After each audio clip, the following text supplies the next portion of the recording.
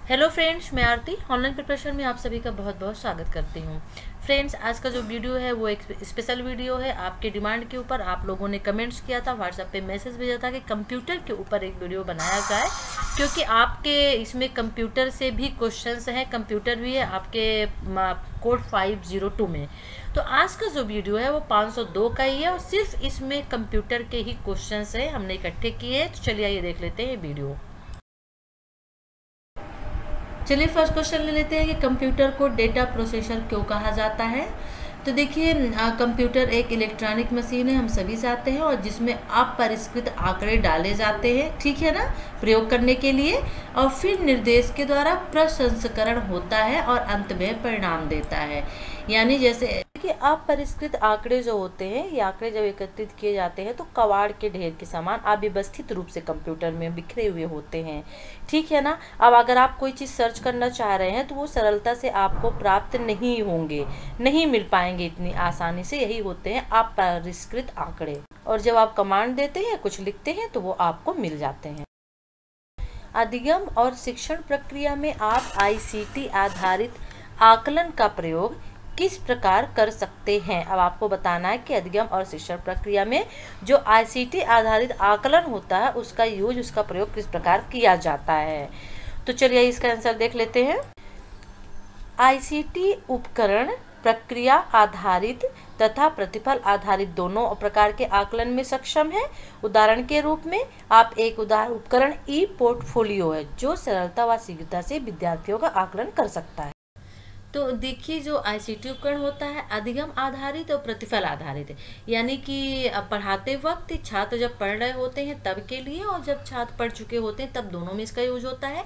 ई portfolio क्या है? तो ई पोर्टफोलियो को दूसरे नाम से भी जाना जाता है। इसको आप ऑनलाइन पोर्टफोलियो या डिजिटल पोर्टफोलियो भी कहा जाता है। ई पोर्टफोलियो के अंतर्गत मल्टीमीडिया, जो चीज़ें होती हैं, फ़ाइल है, मैसेंजर है ई हैं, ये सब चीज़ें इसके अंतर्गत आती हैं। आईसीटी उपकरणों के विभिन्न रूपों के संक्षेप में चर्चा कीजिए। यानी आईसीटी के जो उपकरण होते हैं, उनके जो रूप होते हैं, उनकी यहाँ पे चर्चा करनी है। तो देखिए आईसीटी के उपकरण श्रव्य दृश्य या अश्रव्य दृश्य। देखिए, यहाँ पे ये दृश्य होगा, हृदय नहीं होगा, ठीक है ना? क्या है? दृश्य होगा। तीनों प्रकार के हो सकते हैं और सूचना के संप्रेषण तथा निर्माण, वितरण, एकत्रित और प्रबंधन के लिए विभिन्न प्रौद्योगिकियों के उपकरणों का एक सेट होता है। उपकरण कक्षा में विद्यार्थी द्वारा ज्ञान अर्जित करने तथा उपयुक्त समझ का विकास करने तो प्रौद्योगिकी उपकरणों के अंदर महान शक्ति होती है। यानी कि विद्यार्थियों को, छात्रों को पढ़ाने के लिए, ठीक है ना, उनके अंदर विकास को और बढ़ाने के लिए, उनको विकसित करने के लिए इस सेट का प्रयोग किया जाता है, जो उपकरण होते हैं आईसीटी के। आईसीटी के उपकरण एकमात्र प्रौद्योगिकी नहीं है, बल्कि इसमें हार्डवेयर सॉफ्टवेयर मल्टीमीडिया था डिलीवरी सिस्टम सबका समागम होता है, यानी कौन कौन से इसके अंतर्गत उपकरण होते हैं, जैसे आईसीटी उपकरणों को निम्न चार श्रेणियों में बांट सकते हैं, जैसे पहला है इन्फॉर्मेटिव ठीक है ना? इनको आप थोड़ा अलग से भी ध्यान रखिएगा कि ज़रूरी नहीं है कि सिर्फ़ आईसीटी के उपकरण ही पूछिए, हो सकता है पूछ रहे कि इन्फॉर्मेटिव क्या होता है, ठीक है? जो भी इसके उपकरण उनको अलग से भी पूछ सकता है, या फिर ऑब्जेक्टिव टाइप में कि आईसीटी उपकरण के अंतर्गत क्या क्या चीज़ें हैं या नहीं है, आती हैं या नहीं आती हैं, इस तरह का भी क्वेश्चन पूछ सकता है। है देखिए, पहले इनफॉर्मेटिव ले लेते हैं। ये उपकरण विशाल मात्रा में सूचनाओं को विभिन्न प्रारूपों में प्रदान करते हैं। अब वो सूचनाएँ कौन कौन सी हैं, चलिए देख लेते हैं। जैसे उपकरण को एक उदाहरण हो गया इनफॉर्मेटिव उपकरण का उदाहरण आपका हो गया। जैसे मल्टीमीडिया और वर्ल्ड वाइड और वेब आदि होते हैं, ठीक है? अब एक सिचुएटिंग उपकरण ले लेते हैं। हालाँकि इसका एक वीडियो ऑलरेडी मेरा पहले से बना हुआ है, लेकिन ये कंप्यूटर से रिलेटेड जितने भी क्वेश्चन है, इस वीडियो में मिलेंगे। इसलिए मैंने इस क्वेश्चन को भी ले लिया। तो ये उपकरण विशेष रूप से अमूर्त अवधारणाओं को समझने में सहायक होते हैं। मान लीजिए, हमको मानव रक्त परिवहन तंत्र पढ़ना है। इसे YouTube video clipping video DVD आदि के माध्यम से बच्चों को जीवन भर के लिए समझा सकते हैं, ठीक है? जैसे आप इसके बारे में सर्च करना चाह रहे हैं, आपको कोई एक सब्जेक्ट है, उसका कोई एक विशेष टॉपिक विशेष सब्जेक्ट को सर्च करना चाहते हैं तो आप यूट्यूब पे आ जाइए, वहाँ पे आप वीडियोज़ देख लीजिए सीडी देख लीजिए, यही होता है आपका सिचुएटिव रचनात्मक उपकरण, इसके माध्यम से बच्चे अपने ज्ञान को एक प्रायोगिक संदर्भ प्रदान कर सकते हैं, जैसे वेब आथरिंग एप्लीकेशन जिसके द्वारा स्वयं का वेब पेज बनाया जा सकता है। यानी वेब आथरिंग क्या होता है? वेब आथरिंग क्या ये भी एक क्वेश्चन आपका है। तो इसके द्वारा स्वयं का वेब पेज बनाना ही वेब आथरिंग कहलाता है। आथरिंग का मतलब ऑथर यानी लिखना। तो आप उसमें जैसे कि ब्लॉग वगैरह जो बनते हैं जनरली बनाए जाते हैं, वो बेब आथरिंग के अंतर्गत ही आते हैं, जहाँ पे जो राइटर होता है आथर जो होता है, वो अपनी चीज़ें वहाँ पे लिखता है। ठीक है? आईसीटी के उपकरणों में क्या क्या आते हैं? देखिए तो आईसीटी के उपकरण कौन कौन से हैं? ये क्वेश्चन देखिए आप कागज़ जैसे रेडियो है टेलीविज़न है कंप्यूटर है नेटवर्क है हार्डवेयर सॉफ्टवेयर मशीन है, तथा इन प्रौद्योगिकियों से संबंधित सेवाएँ, जैसे ईमेल व्हाट्सएप वीडियो कॉन्फ्रेंसिंग आदि आईसीटी से उपकरण है। तो ये इंपॉर्टेंट आपका क्वेश्चन एक बन जाता है फ्रेंड कि आईसीटी के उपकरण में क्या क्या आते हैं। तो ये सब चीज़ें आपको लिख देनी होंगी। जैसे आपका ईमेल व्हाट्सएप वीडियो हो गया इमेज हो गया फ़ाइल हो गई, ये ई ई पोर्टफोलियो या फिर ऑनलाइन पोर्टफोलियो या फिर डिजिटल पोर्टफोलियो जो होता है उसके अंतर्गत आती हैं। नेक्स्ट क्वेश्चन कंप्यूटर के कुछ प्रयोग की चर्चा करें। कंप्यूटर के क्या क्या प्रयोग हो सकते हैं, ठीक है ना? जैसे जटिल गणितीय सांख्यिक गणना के लिए हम लोग का, हमारा जो गणित का काम वर्क होता है, अगर हम कॉपी पेन से करने बैठ जाएँ तो बहुत टाइम लगता है। और देखिए कंप्यूटर में चुटकियों से वो काम हल हो जाता है, ठीक है ना? तो वही है, जटिल जो गणितीय और सांख्यिक के काम होते हैं, उनको हम कंप्यूटर के माध्यम से करते हैं। बिल बनाने के लिए ऑफ़िस दुकान रेस्तरा आदमी तो देखिए, आप इसको बड़ा करने के लिए अलग अलग लिख दीजिए।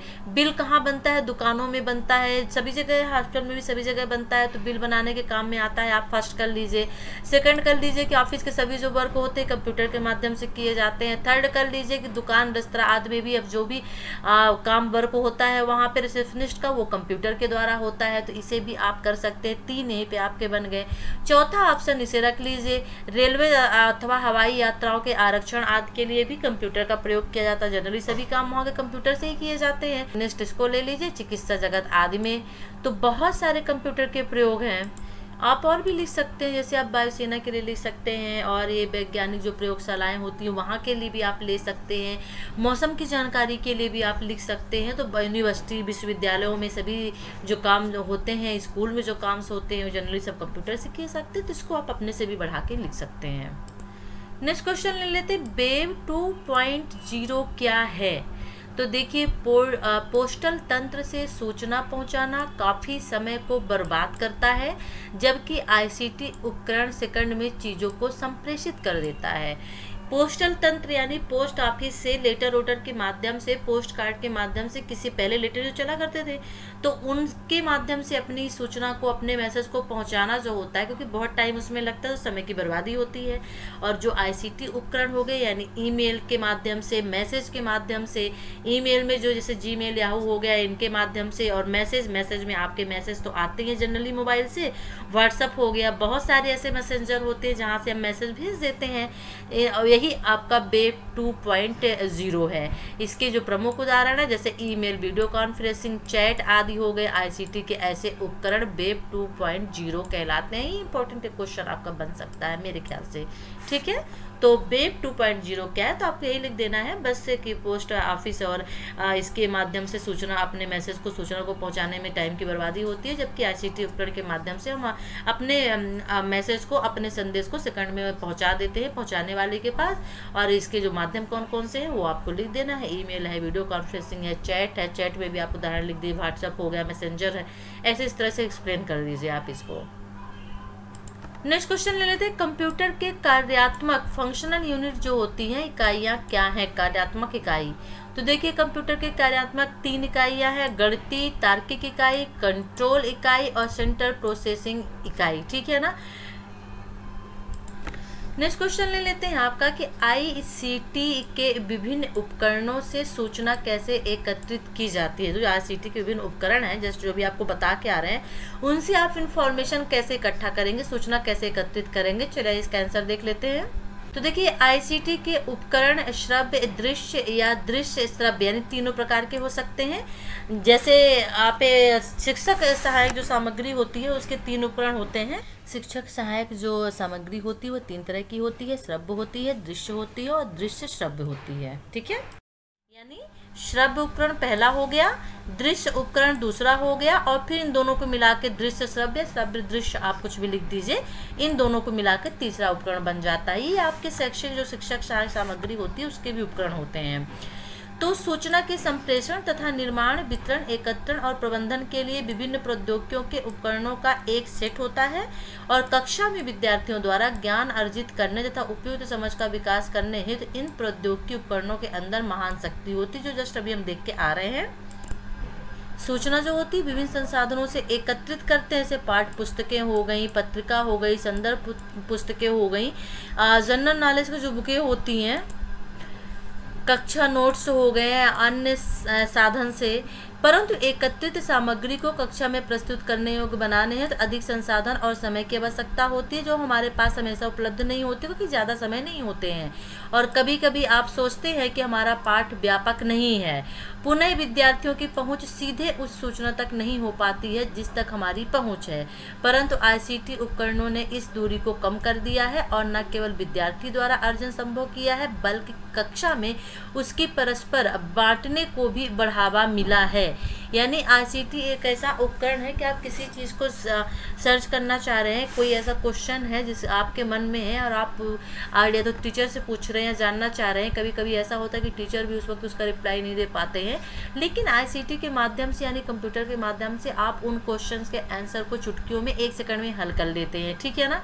आईसीटी उपकरणों में कक्षा के सभी विद्यार्थियों, जिनमें शारीरिक तथा मानसिक रूप से चुनौतीपूर्ण विद्यार्थी भी शामिल है के अधिगम अवसरों के निर्माण की भी क्षमता होती है। यानी आईसीटी की जो उपकरण है, वो सभी के लिए बेस्ट है, चाहे वो किसी भी तरह के विद्यार्थी क्यों ना हो। कंप्यूटर कितने प्रकार के होते हैं, चर्चा करें। अब बताना है आपको कंप्यूटर के टाइप्स टाइप्स ऑफ़ कंप्यूटर कितने तरह के कंप्यूटर होते हैं। तो देखिए, कंप्यूटरों की याददाश्त, आकार तथा कार्यकुशलता एक दूसरे से भिन्न भिन्न होती है, यानी कुछ कंप्यूटर जितने टाइप्स के होते हैं, सब अलग अलग होते हैं। कंप्यूटरों को उनके कार्य के नियमों, आकार तथा ब्रांड के आधार पर वर्गित किया जा सकता है, सेम मोबाइल की तरह। और कक्षा में अधिगम कार्य हेतु तो विभिन्न प्रकार के कंप्यूटरों का वर्णन नीचे किया गया है। तो चलिए, आइए देख लेते हैं कौन कौन से कंप्यूटर होते हैं। फ़र्स्ट ले लेते हैं आपका माइक्रो कंप्यूटर। माइक्रो कंप्यूटर गति या स्टोरेज क्षमता में कंप्यूटरों में सबसे नीचे स्तर पर होता है, ठीक है ना? यानी कि अगर आप स्पीड की बात करें और स्टोरेज की बात करें मेमोरी को वहाँ रखने की बात करें, सबसे ज़्यादा आप स्टोरेज कर सकते हैं, रख सकते हैं वहाँ पे डेटा को तो उसमें सबसे नीचे स्तर पर होता है, यानी बहुत कम क्षमता होती है इसकी। और इस पहले micro computer 8 bit micro processor chip से बनाए गए थे। व्यक्तिगत कंप्यूटर जो पीसी जिसको हम कहते हैं कि सबसे सामान्य एप्लीकेशन इस वर्ग की है। यानी इस वर्ग के अंतर्गत पीसी जिसे हम पर्सनल कंप्यूटर कहते हैं, इस वर्ग के अंतर्गत आता है। पीसी में कई इनपुट तथा आउटपुट यंत्र होते हैं। ये इनपुट और आउटपुट यंत्र जो है आपके लिए वेरी इंपॉर्टेंट है। ठीक है ना? तो इसे आप ज़रूर देखिएगा, एक क्वेश्चन इसमें है भी। और एट बिट चिप की संशोधित किस्म 16 बिट तथा 32 बिट चिप्स है। यानी देखिए, जो इसमें चिप लगी होती चिप्स नहीं है चिप आपका होगा। यहाँ पे ये रॉन्ग है। ये सही है।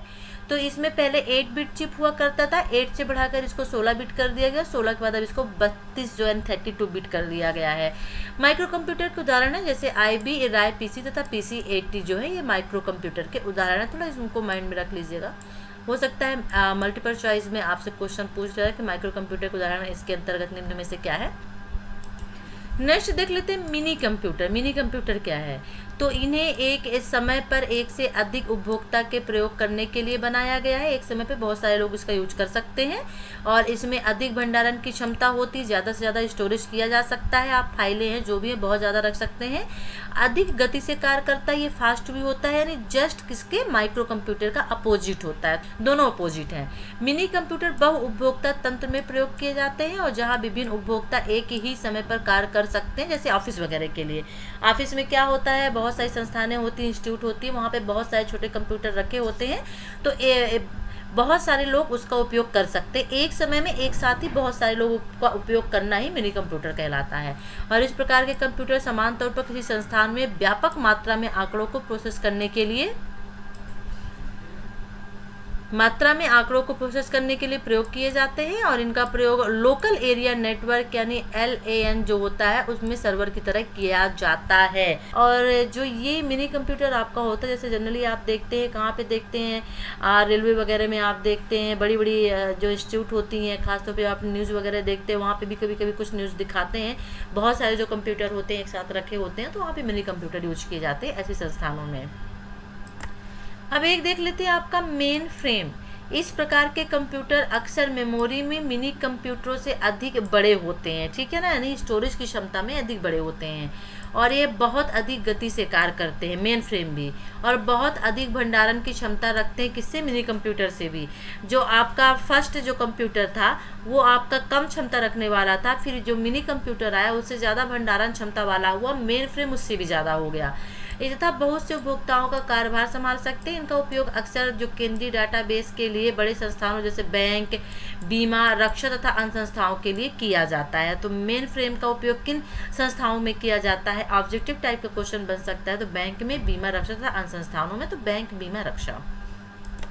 अब आपका है सुपर कंप्यूटर ये वेरी इंपॉर्टेंट है। आपसे अलग भी पूछ सकता है। क्वेश्चन एक तो ये सबसे तेज़ तथा बहुत महँगी मशीनें होती हैं। जो भारत का सबसे तेज़ कंप्यूटर कौन सा? सुपर कंप्यूटर है। कि भी क्वेश्चन आपका हो सकता है कि भारत का सबसे तेज़ कंप्यूटरों में कौन सा कंप्यूटर आता है? तो सुपर कंप्यूटर आता है। अन्य कंप्यूटरों के मुकाबले इनकी बहुत अधिक प्रोसेसिंग गति होती है। इनकी मल्टी प्रोसेसिंग तकनीक भी बहुत ज़्यादा होती है।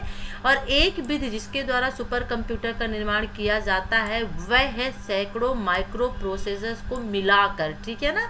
और सुपर कंप्यूटरों का मुख्य उपयोग मौसम का हाल जानने, जो जस्ट मैंने बताया था कि आप ये सब चीज़ें कंप्यूटर के प्रयोग में लिख सकते हैं। तो मौसम का हाल जानने के लिए सुपर कंप्यूटर का हो गया बायोमेडिकल अनुसंधान रिमोट प्रोसेस रिमोट एसेसिंग और एयरक्राफ्ट डिज़ाइन आदि में इनका प्रयोग किया जाता है। किसका? सुपर कंप्यूटर का। तो एक क्वेश्चन भी है कि भारत में सबसे तेज जो कंप्यूटर है, उसका क्या नाम है? आपका तो उसका नाम सुपर कंप्यूटर है, ठीक है ना? और आप में विज्ञान तथा तकनीकी के अन्य क्षेत्रों में भी सुपर कंप्यूटर का प्रयोग किया जाता है। तो सुपर कंप्यूटर का थोड़ा आप नज़र डाल दीजिएगा देखिए, अभी हमने देखा था कि बेब टू पॉइंट ज़ीरो क्या है, ठीक है ना? ये भी जस्ट हमने पढ़ा था। अब इसी के बारे में दूसरा देखिए क्वेश्चन आ गया, इसीलिए मैं कह रही हूँ थोड़ा सा इंपॉर्टेंट है। इनके जो उपकरण है, उनकी मुख्य विशेषता क्या है? अब आपको बताना है। तो इस प्रकार के उपकरणों की एक विशेषता यह है कि लोगों के समूहों के बीच लगातार वार्तालाप, विषय बस तथा चित्र तथा ध्वनि को पहुँचाया जाता है।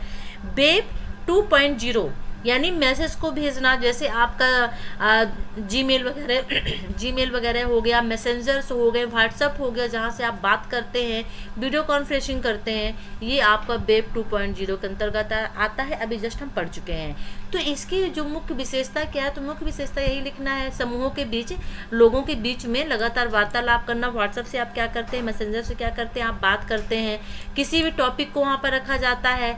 आप वीडियोज़ भी भेजते हैं तो चित्र हो गया, आप सॉन्ग्स वगैरह भी भेजते हैं, गाने भी पहुँचाते हैं तो ध्वनि हो गया, है ना? और दूसरी उल्लेखनीय बात ये, उपकरण ऐसे यंत्र है जिनके द्वारा शिक्षक तथा विद्यार्थियों के बीच बगैर स्थान, समय या दोनों के भौतिक बाधाओं के संप्रेषण संभव है। आप कहीं भी हैं टीचर कहीं भी है, अगर कोई आपको इन्फॉर्मेशन चाहिए है, अपने सब्जेक्ट से रिलेटेड तो आप उसके माध्यम से पूछ सकते हैं और वो आपको उसका रिप्लाई देंगे। तो ये है आपके बेब टू के जो उपकरण होते हैं, उनकी मुख्य विशेषता। उपकरण कौन कौन से होते हैं, बता ही चुके हैं आपका।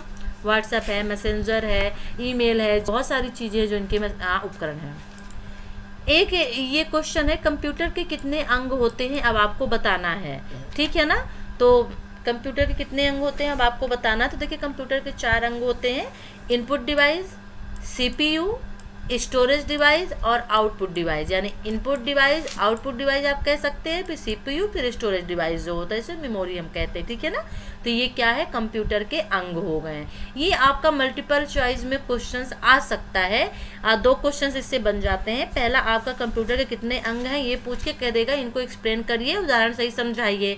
यानी इनपुट डिवाइस क्या है सी आउटपुट डिवाइस क्या है इनके आपको एग्ज़ाम्पल पूछ सकता है। या फिर ये कंप्यू इससे क्वेश्चन है कि आपसे पूछ सकता है कि कंप्यूटर के जो अंग हैं निम्नलिखित में से कौन कौन से हैं और ऑप्शन में इनमें से कोई भी एक दे देगा। और एक इंपॉर्टेंट बात और कहना चाहूँगी कि इनमें से अलग भी क्वेश्चन पूछ सकता है सीपीयू का फुल फॉर्म पूछ सकता है ठीक है ना? और जो इनपुट डिवाइस है क्वेश्चन दे देगा निम्नलिखित में से कौन सी इनपुट डिवाइस है या निम्न में से कौन आउटपुट डिवाइस है अब आपको उसमें से सेलेक्ट करना होगा। तो मैं इस, इस सोच रही हूँ कि एक मैं आपके लिए वीडियो लेके आऊँ जिसमें मैं आपको CPU storage device input device और आउटपुट डिवाइस के बारे में बताऊँ। ठीक है? आप कमेंट्स करिएगा। यदि आप कहेंगे तो मैं वीडियो बना दूँगी। आकलन व आईसीटी उपकरण क्या है? अब आपको बताना है। ठीक है ना? तो देखिए, आजकल विभिन्न आईसीटी उपकरण उपलब्ध है जिनका उपयोग शिक्षण अध्ययन प्रक्रिया के दौरान तथा कक्षा कोर्स समाप्त के बाद भी विद्यार्थियों के निष्पादन के आकलन हेतु किया जा सकता है। आईसीटी उपकरण। शिक्षण अधिगम प्रक्रिया, यानी कि जैसे आप लैब में जो प्रैक्टिकल करते हैं, कंप्यूटर में भी आपको प्रैक्टिकल जनरली कराए जाते हैं, बहुत सारी चीज़ें सिखाई जाती हैं कंप्यूटर के माध्यम से, ठीक है ना? और विद्यार्थियों के कोर्स हो गया, आप कोर्स समाप्त के बाद विद्यार्थियों के निष्पादन आकलन है तो रिज़ल्ट बनता है तो किसके माध्यम से बनता है? कंप्यूटर के माध्यम से ही बनता है, और उसी में से आपको बताया जाता है तो ये कोर्स समाप्त के बाद का हो गया। ये उपकरण प्रक्रिया आधारित तथा प्रतिफल आधारित दोनों प्रकार के आकलन में सक्षम है, ठीक है ना? आईसीटी के एक उपकरण है। उपकरण प्रक्रिया आधारित, जब आप पढ़ रहे हैं, कोर्स कर रहे हैं, कक्षा में हैं, तब भी इनका यूज़ किया जाता है। और प्रतिफल आधारित यानी जो निष्पादन, विद्यार्थियों के निष्पादन के आकलन यानी एग्ज़ाम देने के बाद जो आपके रिज़ल्ट निकलते हैं, इन दोनों पे आधारित होते हैं। दोनों का आकलन किया जाता है आईसीटी के अंतर्गत, ठीक है? आईसीटी का एक उपकरण ई पोर्टफोलियो को ले सकते हैं, जो एक उपकरण है ई पोर्टफोलियो जिसके द्वारा आप सरलता तथा शीघ्रता से अपने विद्यार्थियों का आकलन कर सकते हैं। किसके माध्यम से? ई पोर्टफोलियो के द्वारा। इसी प्रकार अन्य आईसीटी उपकरण है, जिन्हें आकलन हेतु उपयोग में लाया जा सकता है। कौन कौन से आईसीटी उपकरण है? जस्ट अभी हम बता के आ रहे हैं। Online online, rubric, online peer assessment digital concept mapping बहुत सारे हैं आकलन में आईसीटी उपकरणों के उपयोग के लाभ है। तथा यह विद्यार्थियों को प्रदर्शन हेतु प्रोत्साहित करते हैं। नेक्स्ट क्वेश्चन देख लेते हैं, कंप्यूटर के लिए इनपुट डिवाइस क्या है? और इसके मुख्य उपकरण कौन कौन से हैं, यानी इनपुट डिवाइस के?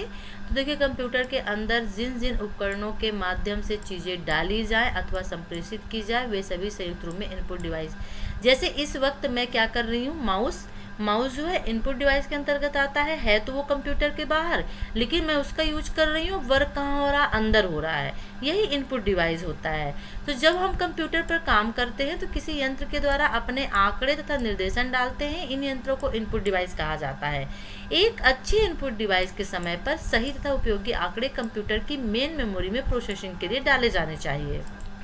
इनपुट डिवाइस कौन से देख लेते हैं? कीबोर्ड, माउस, स्कैनर, और भी बहुत सारे हैं। कीबोर्ड यह स्टैंडर्ड इनपुट डिवाइस है जो सभी कंप्यूटरों के साथ होता है। यह एक पारंपरिक टाइपिंग मशीन की तरह होता है। कीबोर्ड तो हम लोग जानते हैं, इसमें फ़ंक्शन होते हैं पूरे।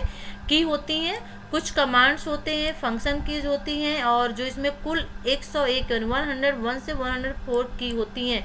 ये थोड़ा सा याद रखिएगा कि कीबोर्ड में कितनी की होती हैं तो 101 से 104 के बीच होती हैं, ठीक है ना? आंकड़े कंप्यूटर में डालने के लिए कीज का सही मेल दबाना होता है। बहुत सारे काम हम कीबोर्ड से करते हैं, वरना जनरली माउस से ही कर देते हैं। कंप्यूटर कीज के सभी मिलान से जुड़े हुए इलेक्ट्रॉनिक सिग्नलों को समझता था, उसके अनुसार प्रोसेसिंग होती है, यानी वर्क करता है।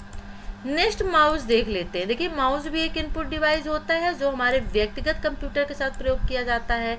छोटे से बाल पर घूमता है तथा इस पर दो या तीन बटन होते हैं। जब एक आ, सपाट तल पर इसे चलाते हैं तो माउस की दिशा में स्क्रीन माउस की गति से सेंसर करती है। यानी जो वर्क हम माउस पे करते हैं वो चीज़ कंप्यूटर पे दिखती है। माउस के साथ सर्कल बहुत तेज़ी से चलता था उस दिशा में कार्य करने के लिए हमें अधिक स्वतंत्रता मिलती है। फिर देखिए, स्कैनर देख लेते हैं, एक इनपुट उपकरण है और फोटोकॉपी मशीन की तरह काम करता है, क्योंकि कोई भी चीज़ हमें स्कैन करनी होती है कंप्यूटर में, उससे हमें बाहर लेना होता है तो हम उससे कर सकते हैं। किसी भी पेपर वाले मैटर को सीधे कंप्यूटर में आगे के कार्य संप्रेषित किया तो स्कैनर हो गया। देखिए, और भी बहुत सारी इनपुट डिवाइस है, जैसे आप प्रिंटर ले लीजिए, वो भी आता है, आप जॉय स्टिक ले लीजिए, जो गेम्स के होते हैं टूल्स, ये आपके इनपुट डिवाइस के अंतर्गत आते हैं तो मैं एक वीडियो लेके आऊँगी इनपुट आउटपुट डिवाइस के बारे में, मैं उस पर बताऊँगी आपको। क्वेश्चन बेब आथरिंग एप्लीकेशन से आप क्या समझते हैं? तो इसके माध्यम से स्वयं का बेब बनाया जा सकता है, पूरे विश्व में संप्रेषित किया जाता है, परिणाम के रूप में सूचना साथियों, शिक्षकों, पूरे विश्व को पहुँचाया जाता है। बेब आथरिंग जस्ट मैंने कहा था, यानी जैसे आप ब्लॉग बनाते हैं एक ब्लॉग क्रिएट किया जाता है, एक वेबसाइट बनाई जाती है, एक ऐप्स बनाया जाता है, खुद का पर्सनल, और उस पर पूरे मैसेज दिए जाते हैं, उस पर कोई इन्फॉर्मेशन होती है। अगर मैं कहूँ, इस समय आपके लिए वीडियो बना रही हूँ, मैं आपको बताऊँ कि मैंने एक ब्लॉग बनाया है, मैंने एक वेबसाइट है, मैंने एक ऐप्स लॉन्च किया है, किससे लेके? एन आई से लेके। पूरी इन्फॉर्मेशन आपको वहाँ पर दी जाएगी, यही होता है web authoring application, okay? Important question आपके लिए है। तो फ्रेंड्स, ये वीडियो कैसा लगा ज़रूर बताइएगा। और करना क्या है, आपको पता है लाइक करिए वीडियो को और शेयर करिए। और चैनल को सब्सक्राइब नहीं किया है तो प्लीज़ सबसे पहले इसको आप सब्सक्राइब कर लीजिए। चलिए फिर नेक्स्ट वीडियो के साथ फिर मिलते हैं। तब तक के लिए टेक केयर बाय